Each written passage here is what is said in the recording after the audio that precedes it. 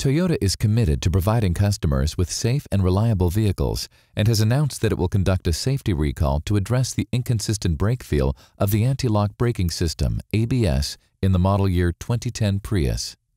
The ABS in normal operation engages and disengages rapidly many times per second as the control system senses and reacts to tire slippage.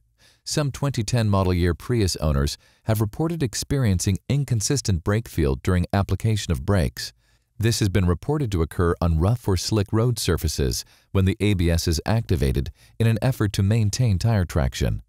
Toyota has responded to owner concerns with a running production change for the 2010 Prius to improve the ABS system's response times, as well as the system's overall sensitivity to tire slippage. The braking system of the Prius hybrid vehicle combines conventional hydraulic braking and ABS, and it was designed to blend the application of these to provide smooth, safe, and reliable braking performance. Under most conditions, hydraulic braking maintains steady and predictable deceleration, bringing the vehicle to a stop. During braking, if any of the four wheel speeds vary, the ABS system interprets this as impending wheel lockup and activates the ABS system to help prevent wheel lockup, thus helping to maintain optimum traction and steering control.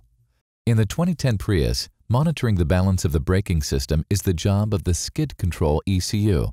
Carefully balancing the application is akin to conducting a symphony orchestra and is done many times per second.